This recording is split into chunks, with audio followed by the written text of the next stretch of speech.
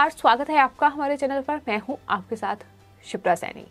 महाराष्ट्र में सिंधुदुर्ग में जिला सहकारी बैंक के चुनाव हुए, जिसमें बीजेपी ने बड़ी जीत हासिल की और ये जीत महाविकास अगाड़ी सरकार के लिए बड़ा झटका मानी जा रही है और कहीं ना कहीं अब इस हार का असर भी देखने को मिल रहा है।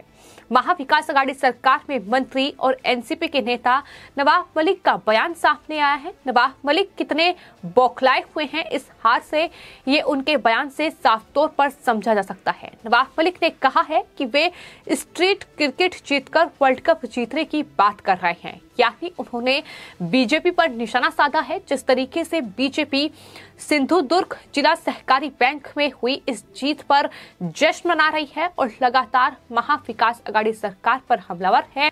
ज़ाहिर तौर पर सिंधुदुर्ग जिला सहकारी बैंक का जो चुनाव अभी तक रहा है, वो शिवसेना का गढ़ रहा है और उसमें बीजेपी ने सेंध लगाई है। हालाँकि इस दौरान बीजेपी को रोकने की तमाम कोशिशें भी महाविकास अघाड़ी सरकार की ओर से की गई। नारायण राणे और उनके परिवार को रोकने की तमाम साजिशें और षड्यंत्र रचे गए, लेकिन महाविकास अघाड़ी सरकार कामयाब नहीं हो पाई और बीजेपी ने इस चुनाव में 19 सीटों में से 11 सीटें हासिल की तो वहीं महज आठ सीटें जो थी, वो शिवसेना और महाविकास अघाड़ी सरकार के खाते में पहुँची। यही वजह है कि इस तरीके के बयान जो हैं, वो अब इन चुनाव में जीत के बाद महाविकास अघाड़ी सरकार की ओर से सामने आ रहे हैं। महाराष्ट्र के अल्पसंख्यक मंत्री और साथ ही एनसीपी के नेता नवाब मलिक ने मीडिया से बातचीत करते हुए ये कहा है कि उस वक्त उन्होंने, यानी बीजेपी ने जिला बैंक परिषद का चुनाव नहीं जीता था। वे जिला बैंक से अपील कर रहे हैं कि 22 से 30 मतदाताओं का अपहरण करें, भुगतान करें और फिर बैंक का चुनाव जीते, फिर राज्य जीते, यानी वे स्ट्रीट क्रिकेट जीतकर वर्ल्ड कप जीतने की बात कर रहे हैं।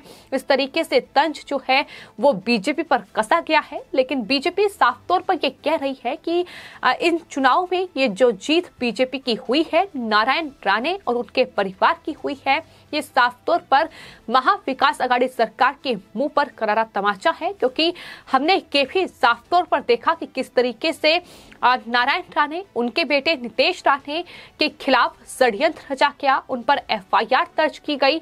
एक हत्या की कोशिश के आरोप में ये एफआईआर उन पर दर्ज की गई है। इसके अलावा बीजेपी के जो दूसरे नेता सिंधुदुर्ग इलाके से आते हैं, वहाँ उन्हें कुचलने की कोशिश भी की गई। वो भी साजिश और षड्यंत्र एक वीडियो फुटेज में महाविकास अगाड़ी सरकार का बेनकाब हो चुका है। तो तमाम तरीके से रोकने की कोशिश की गई और साफ़ तौर पर केंद्रीय मंत्री नारायण राणे की ओर से ये कहा गया था कि ये सब कुछ सिर्फ़ इसलिए हो रहा है ताकि इन चुनावों में किसी तरीके से महाविकास अगाड़ी सरकार जीत जाए और अभी तक जो जिला बैंक में घोटाले किए गए हैं, जो अनियमितताएँ बरती गई हैं, वो सबके सामने ना आ पाए। यही वजह है कि इस तरीके के हथकंडे जो हैं, वो महाविकास अगाड़ी सरकार की ओर से अपनाए जा रहे हैं। तो फ़िलहाल इस जीत को नवाह मलिक स्ट्रीट क्रिकेट बता रहे हैं और ये कह रहे हैं कि वर्ल्ड कप जीतने की बात बीजेपी कर रही है। साफ़ तौर पर बीजेपी की ओर से ये कहा गया है कि सिंधुदुर्ग चुनाव जीतने के बाद अब अगली बारी जो होगी, वो बीएमसी का चुनाव जीतने की होगी और उसके बाद महाराष्ट्र से किस तरीके से महाविकास अघाड़ी सरकार का सफाया होता है, ये भी लगातार जो चैलेंज है, वो बीजेपी की ओर से शिवसेना और एनसीपी को दिया जा रहा है और कहीं ना कहीं शिवसेना और एनसीपी और कांग्रेस पार्टी जो मिलकर वहाँ सत्ता चला रही है, वो बखूबी तरीके से जान चुकी है कि उनका भ्रष्टाचार, उनके किए गए घोटाले, उन पर भारी पड़ रहे हैं और यही वजह है कि तमाम जो निकाय चुनाव हुए हैं, जो इससे पहले एमएलसी के चुनाव भी महाराष्ट्र में हुए थे, जिसमें जिसमें छह में से चार सीटें बीजेपी ने हासिल की थी और इस तरीके से ये एमएलसी का चुनाव भी जीता था और उसके बाद अब ये सिंधु दुर्ग में जिला सहकारी बैंक के चुनाव थे। अपने आप में बेहद महत्वपूर्ण चुनाव इसलिए क्योंकि कहीं ना कहीं अभी तक जो जिला सहकारी बैंक हैं, उसमें घोटाले ही महाविकास अगाड़ी सरकार की ओर से किए गए हैं और खासतौर पर एनसीपी और शिवसेना का वर्चस्व रहा है। और जिस तरीके से बीजेपी उम्मीदवार ने बैंक के चेयरमैन को भी मात दी है, जो कि महाविकास अगाड़ी सरकार से था तो ज़ाहिर तौर पर बौखलाहट बढ़नी लाजमी है, क्योंकि अब बीजेपी ने बहुमत हासिल किया है। बीजेपी अब वहाँ साफ़ तौर पर आ चुकी है तो ऐसे में तमाम जो घोटाले हैं, तमाम जो भ्रष्टाचार जिला सहकारी बैंक में किए गए हैं, जो अनियमितताएँ बरती गई हैं, वो अब खुलकर सामने आ सकती है। तो जहाँ एक तरफ़ अल्पसंख्यक मंत्री नवाब मलिक ने इस तरीके से बीजेपी पर जो जीत हासिल की है, उन्होंने उस पर तंज कसा है। लेकिन वहीं दूसरी ओर नवाब मलिक की ओर से ये भी कहा गया है कि अजीत पवार कौन है? उन्हें इसे पहचानने की ज़रूरत नहीं है। अजीत पवार कौन है?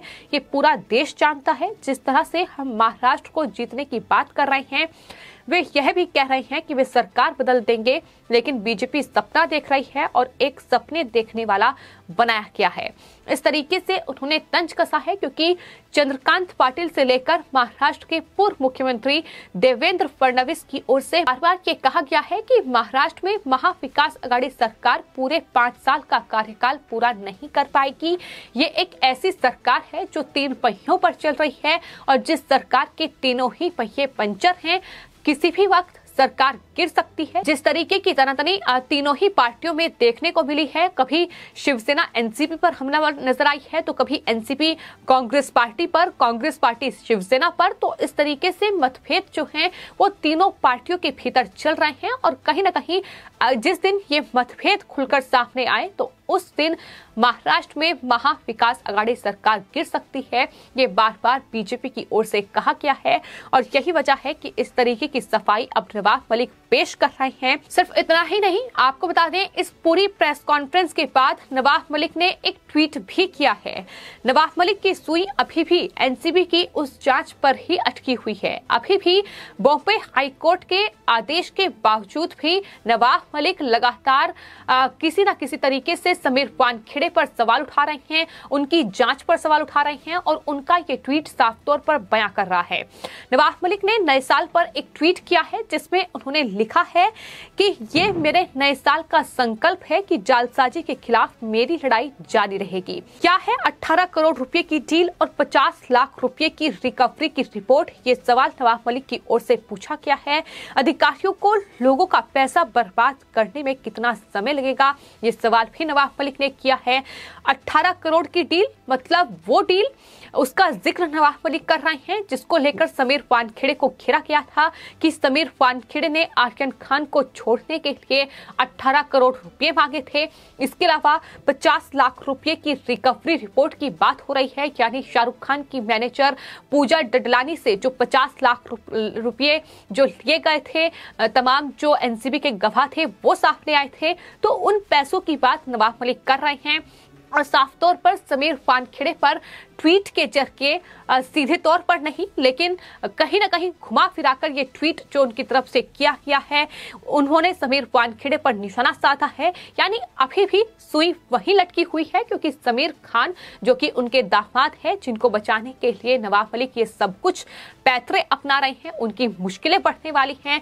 नवाब मलिक की मुश्किलें पहले ही बढ़ी हुई हैं, और यही वजह है कि नवाब मलिक ने यह भी कहा है कि हम कोर्ट की लड़ाई लड़ेंगे, सच सामने आएगा। नवाब मलिक ने कहा है कि भ्रष्ट अधिकारियों को दंडित किया जाएगा।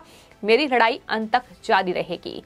नवाब मलिक आखिर किस मुँह से ये ट्वीट कर रहे हैं? क्योंकि भ्रष्ट अधिकारी और भ्रष्ट नेता कहाँ हैं? ये खुलासा लगातार महाराष्ट्र में हो रहा है।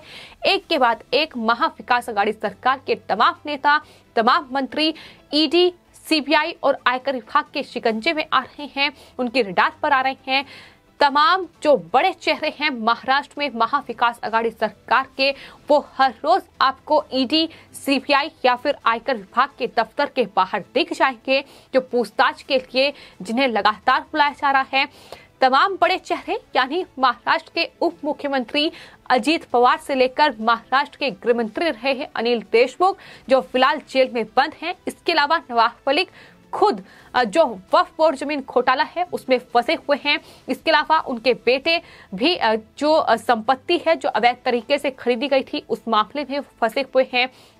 उसमें आयकर विभाग के पास मोहित काम्बोज ने शिकायत दर्ज कराई थी। इसके अलावा अनिल प्रभ से लेकर तमाम शिवसेना के विधायक भी फ़िलहाल ईडी की रडार पर हैं। तो किन भ्रष्ट अधिकारियों की बात नवाब मलिक कर रहे हैं?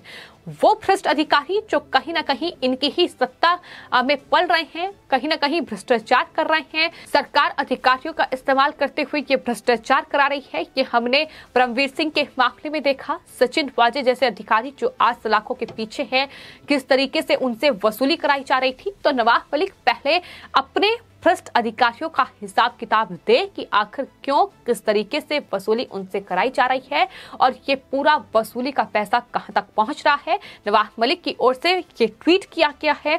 ज़ाहिर तौर पर ये ट्वीट उन्होंने एनसीबी के जोनल डायरेक्टर समीर वानखेड़े को लेकर किया है, लेकिन बॉम्बे हाईकोर्ट के निर्देश का पालन जो है वो नवाज़ मलिक नहीं कर रहे हैं। ऐसे में मुश्किलें एक बार फिर बढ़ सकती हैं और हो सकता है कि दोबारा नवाज़ मलिक को बॉम्बे हाईकोर्ट में माफ़ी मांगनी पड़े। फ़िलहाल आपकी इस पूरे मामले पर क्या राय है, हमें कॉमेंट बॉक्स में ज़रूर लिखें और चैनल को सब्सक्राइब करें। धन्यवाद।